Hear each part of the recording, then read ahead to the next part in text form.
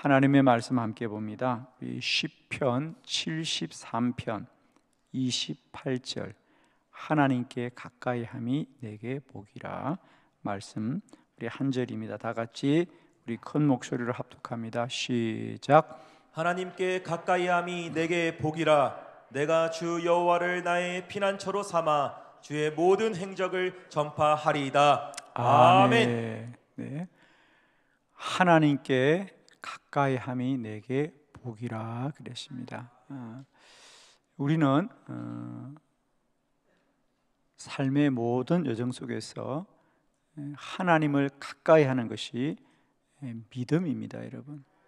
그러니까 우리는 자칫 어, 우리가 스스로 더 나은 사람이 되거나 더 훌륭한 사람이 되는 사람이 스스로의 노력이나 또 자기 수고를 꾀하는데 그것은 이방 종교에서의 방법이죠. 어, 돌을 닦거나 수련하거나 우리가 더 훌륭한 사람이 되고자 하는데 성경이 말하는 답은 사람은 스스로 훌륭해지거나 더 나은 존재가 될 수 없다는 것입니다. 다만 우리는 하나님의 은혜를 입을 때에 하나님이 우리를 더 복된 사람으로 만들어 준다는 거죠. 그러므로 우리 신앙의 일생은 뭐냐? 늘 하나님을 가까이 하는 것뿐이에요. 그러니까 하나님과 멀어지는 순간 우리는 아무것도 아닌 것을 우리는 믿음의 사람을 통해서 많이 알게 됩니다, 여러분.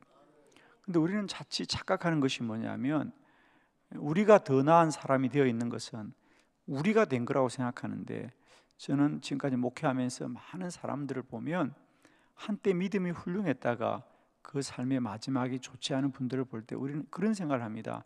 아니 그렇게 믿음 좋은 사람이 왜 저렇게 되었냐?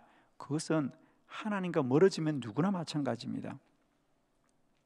제가 늘 잘 사용하는 난로의 비유를 말하면 우리가 난로 가까이 있으면 몸이 따뜻해집니다. 따뜻하다 못해 몸이 뜨거워질 때도 있죠. 어? 우리는 아 내가 참 따뜻하고 뜨겁다라고 생각하지만 난로를 떠나 보십시오. 그 순간 우리 몸은 싸늘해집니다, 여러분. 그러니까 우리가 난로 가까이 있을 때 우리가 따뜻해지니까 마치 우리 자신이 무슨 열을 내고 우리 자신이 뭔가 따뜻한 존재가 된 것처럼 우리가 쏟고 사는 거지요. 음. 즉 주님의 은혜 아래 있을 때 은혜인 줄 모르는 거예요. 그러나 주님을 한 발짝만 떠나 보면 마치 난로를 한 발짝만 떠나 보십시오. 우리는 차가운 몸이 됩니다. 우리는 알게 되는 거죠.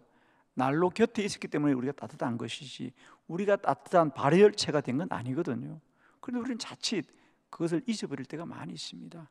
그러므로 우리는 일생 동안 하나님을 가까이 하는 것만이 우리에게 참된 복이라는 사실이죠. 우리가 기도를 하거나 예배를 드리거나 또 우리가 주의 사명을 감당하거나 우리는 이런 많은 경로를 통하여 우리는 할 수 있거든 주님께 가까이 하는 것 그것만이 내게 복이라는 거죠. 우리는 내가 누리고 있는 이 복이 하나님을 가까이 해 얻는 거라는 걸 잊어버릴 때가 참 많아요. 그러나 저는 목회를 하면서 많은 사람들을 봅니다. 누구나 마찬가지입니다. 예수를 1년 믿었던 10년 믿었던 20년 믿었던 50년을 믿었던 대를 이어서 믿었던 누구든지 하나님을 떠나기만 하면 아무것도 아니라는 사실. 반대로 우리의 삶이 참 복된 것은 하나님을 가까이 하는 그것만이 내게 복이라. 다시 정리합니다. 우리 스스로가 더 나은 사람이 될 수가 없고 된 것도 아닙니다. 다만 우리는 순간순간 하나님께 가까이 있는 것 그것만이 내게 복이죠. 순간순간 언제나 하나님을 더 가까이 하려고 하는 것 그것이 우리 믿음의 방편이라는 거죠. 어. 저는 오늘 어, 하나님을 가까이 함이 우리에게 얼마나 귀한 복인지 어, 우리가 성경에 기록된 믿음의 사람들의 이야기를 통해서 다시 한번 하나님을 가까이 하는 것만이 우리에게 복이 된다는 사실을 다시 깨닫고 우리 남은 생애가 언제나 우리가 나아진 존재가 되는 노력과 수련을 하는 것이 아니라 우리는 오직 믿음으로 하나님을 가까이 하는 복된 은혜가 있기를 축복합니다. 자, 먼저 이삭이 하나님을 가까이 했을 때 어떤 복을 누렸느냐? 창세기 26장 2절로 4절을 교독합니다. 여호와께서 이삭에게 나타내 이르시되 애굽으로 내려가지 말고 내가 네게 지시하는 땅으로 거주하라. 이 땅에 거류하면 내가 너와 함께 있어 내게 복을 주고 내가 이 모든 땅을 너와 내 자손에게 주리라 내가 내 아버지 아브라함에게 맹세한 것을 이루어 내 자손을 하늘의 별과 같이 번성하며 이 모든 땅을 내 자손에게 주리니 내 자손으로 말미암아 천하 만민이 복을 받으리라. 아멘. 아멘 예, 하나님이 이삭과 약속하신 것입니다. 그 성경에 보면 3절에 어, 내가 너와 함께 있겠다 그랬어요. 내가 너와 함께하면 어떤 복을 주느냐? 자손의 복을 준다. 거기 본문에 보면 자손이란 단어를 몇 번이나 반복하는지 볼까요? 거기 보면 내가 너와 함께 있으면 3절에 자손에게 복을 주고 그다음에 4절에 자손을 하늘의 별과 같이 하며 내 자손에게 이 모든 땅을 줄이며 내 자손으로 말미암아 천한 만민이 복을 받을 무려 네 번이나 자손에 대한 말을 하고 있습니다. 그렇습니다. 우리가 하나님을 가까이 할 때 자손들이 복을 받는다. 우리가 출애굽기 20장에 보아도 어, 너는 나 외에 다른 신을 섬기지 말아라. 십계명의 첫 번째 계명. 너는 오직 나만 섬겨라. 나만 섬길 때 나는 너의 자손이 천대가 복을 받게 하겠다. 우리가 힘써 하나님을 더 가까이 할 때 하나님은 우리들도 복을 주지만은 우리의 자손들도 복을 주리라 그랬어요. 여러분 우리가 자손들을 사랑하긴 하지만은 우리가 영원히 우리의 자손과 함께 할 수 있는 사람은 아무도 없습니다, 여러분. 그러나 하나님은 영원하신 하나님입니다. 우리가 하나님을 가까이 하게 될 때에 우리들도 복을 입지만은 더 중요한 것은 너의 자손이 복을 받으리라고 성경은 말하고 있거든요. 저는 축복합니다. 우리가 더욱더 하나님을 가까이 하게 될 때에 우리의 자손들이 복을 받을 거다. 그 중에 가장 큰 복은 뭐죠? 우리가 하나님을 가까이 하는 그 모습이 우리 자녀들에게 믿음의 복으로 누려질 겁니다. 신앙은 배워서 아는 것이 아니라 닮아가는 것이에요. 신앙은 닮아가는 겁니다. 기억하는 거예요. 믿음이 좋은 부모님 밑에는 믿음이 좋은 자녀들이 생겨나게 되어 있습니다. 우리가 이 새벽마다 기도하는 것도 저는 그렇게 생각합니다. 이 기도하는 우리의 삶이 우리에게도 복되지만은 기도하는 여러분의 모습이 여러분의 자녀들에게도 복이 될 것이죠. 그렇지 않겠습니까, 여러분? 늘 새벽마다 기도했던 부모님들의 그 믿음이 자녀들에게 여러 가지로 복이 되지만은 가장 귀한 건 믿음의 복이 된다는 거죠. 저는 우리 자녀들이 정말 새벽을 깨우며 기도하는 자녀가 되기를 누구나 소원할 테인데 그것을 말로 가르친다고 되겠습니까? 야단을 친다고 되겠습니까? 그것은 하루 이틀이 아니라 10년, 20년, 30년, 50년 일생을 새벽마다 기도한 여러분의 삶이 그들에게 기억될 때에 그들도 여러분이 없는 날이지만은 여러분의 자리를 지키는 기도자가 될 것입니다. 그건 돈으로 살 수 없는 복이잖아요. 자녀들한테 너희들 새벽 기도하고 살아라고 말한다고 자녀들이 살 수 있겠어요? 그러나 일생을 기도하는 그 부모님들의 성실한 무릎을 통해서 자녀들은 깨닫게 될 것이죠. 그건 아무도 대신할 수 없습니다. 그래서 우리가 스스로 먼저 우리가 하나님을 늘 가까이 하는 삶이 가장 큰 복은 뭐냐? 너의 자손들이 이 복을 누리리라 그랬어요. 두 번째 우리가 더욱더 하나님을 가까이 되는 이유 우리가 야곱을 통해서 함께 볼까요? 창세기 28장 15절로 16절을 교독합니다. 내가 너와 함께 있어 내가 어디로 가든지 너를 지키며 너를 이끌어 이 땅으로 돌아오게 할지라 내가 내게 허락한 것을 다 이루기까지 너를 떠나지 아니하리라 하신지라 야곱이 잠이 깨어 이르되 여호와께서 과연 여기 계시거늘 내가 알지 못하였도다. 아멘. 아멘. 어, 야곱이 에, 아버지의 집을 떠나 삼촌 라반의 집으로 가다가 루스라는 들판에서 잠이 들었는데 그날 밤 꿈을 꾸는데 하나님이 나타납니다. 그러면서 하나님이 뭐라 그럽니까? 내가 너와 함께 있겠다. 어, 내가 너와 함께 있으면서 뭘 하느냐? 너를 지켜 주리라.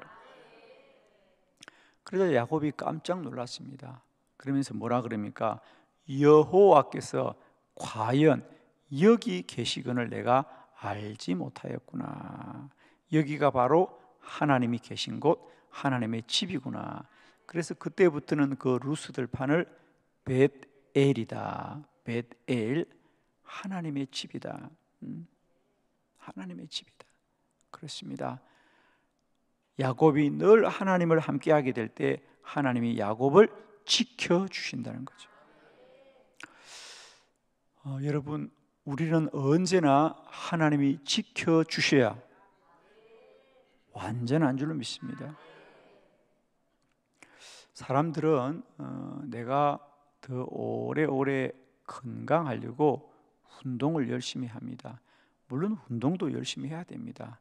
그러나 운동은 내 육체가 좀 더 나아질 뿐이지만은 내 육체를 지키시는 분은 하나님인 걸 아셔야 됩니다. 우리는 내가 건강하다, 내가 운동하면 내가 더 오래 산다고 생각하는데 그렇지가 않습니다.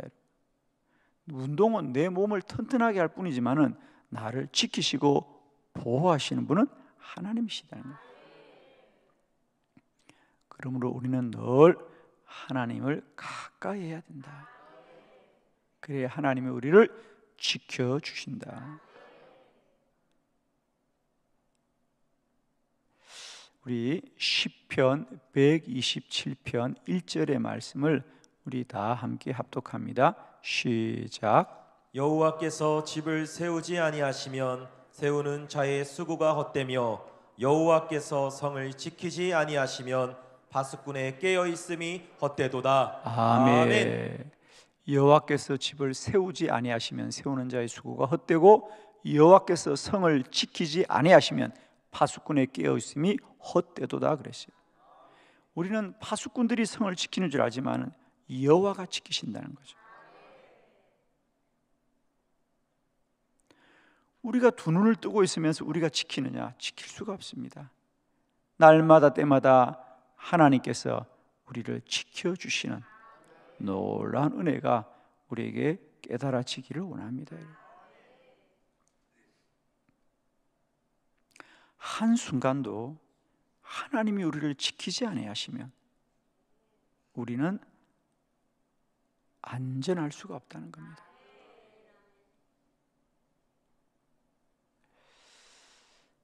우리가 음, 민수기에 보면 하나님이 광야를 지나던 이스라엘 백성들에게 불뱀을 보내었다. 음, 불뱀을 보내어서 그들을 죽게 하는 심판을 내립니다. 그러자 이스라엘 백성들이 하나님 앞에 살려달라고 기도하자 하나님이 모세에게 노뱀을 만들어 장대에 매달아라. 노뱀을 바라보는 자들은 살리라 그럽니다. 아, 이것이 어떤 현실로 나타났을까? 그죠? 불뱀은 뭘까? 어, 그래서 많은 성서학자들은 아마 사막의 전갈이지 않을까라고 말을 합니다. 그러면 하나님이 불뱀을 보냈다는 건 뭘까? 전갈을 보냈다는 건 뭘까? 사막은 어디나 전갈이 있죠, 여러분 그죠? 그래서 이 말씀은 우리가 사실적으로 생각해 보면 그동안 그들이 40년을 광야를 지나지만 불뱀이 나타나지 않은 것은 정갈이죠. 정갈은 어디나 있는 겁니다. 그래서 결국 우리는 이 본문을 사실적으로 이해하면 갑자기 하늘에서 불뱀이 떨어져서 이스라엘 백성들을 물어 죽게 한 것이 아니라 사실은 지금까지 하나님이 이스라엘 백성들을 보호해 주셨기 때문에 전갈이 그들에게 틈타지 못했는데 그들이 하나님 앞에 불평하고 원망하자 하나님이 불뱀을 보냈다는 얘기는 실상 지금까지 그들을 지키고 있던 보호를 하나님이 포기하셨다 그 말이죠.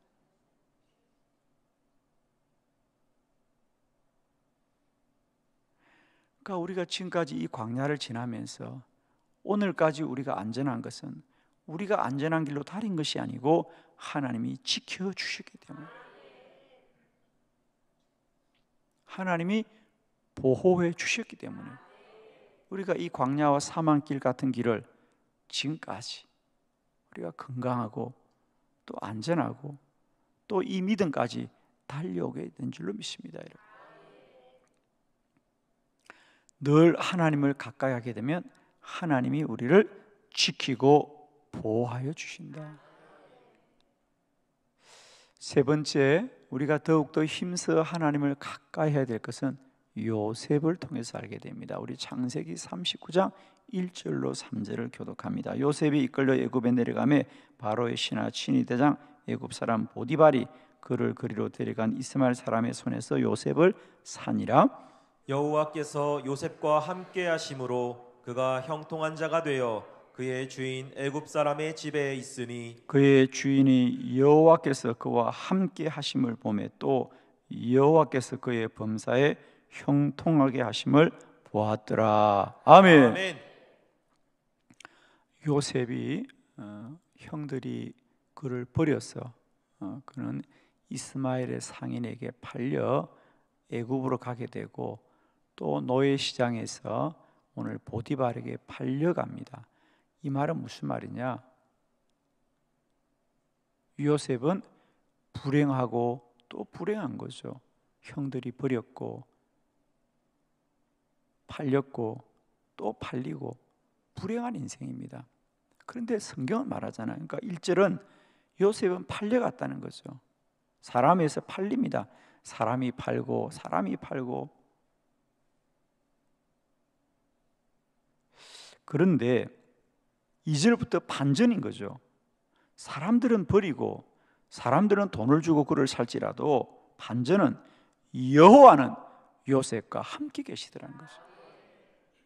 사람들이 가장 하찮하게 여기는 노예입니다. 종입니다. 그러나 하나님은 요셉과 함께 하심으로 그가 형통한 되어 형통한 자가 되더라. 그걸 반복을 두 번이나 합니다. 2절에도 형통한 자가 되고 3절에도 그가 형통하심을 보게 되고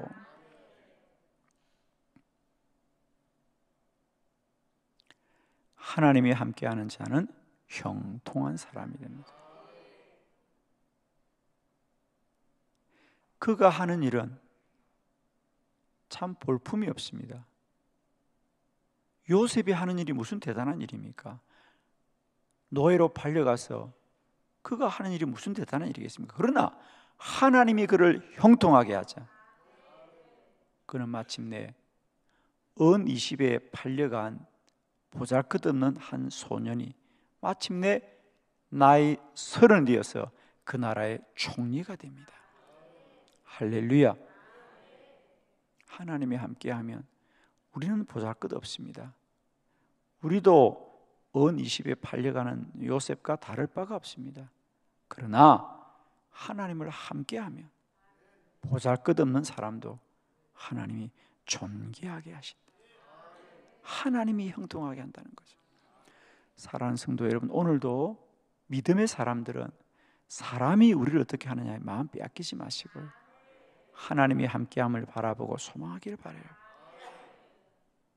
여러분, 사람들이 우리에게 향하는 일에 우리가 마음을 빼앗기면 안 됩니다. 사람들이 여러분을 뭐라고 부르든지 여러분을 무엇으로 같이 여기든지 우리는 오직 여호와를 악망하고 여호와를 바라보고 하나님이 형통하게 하심을 날마다 소망해야 될 줄 믿습니다.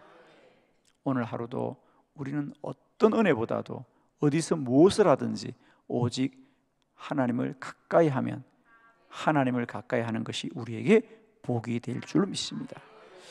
기도드리겠습니다.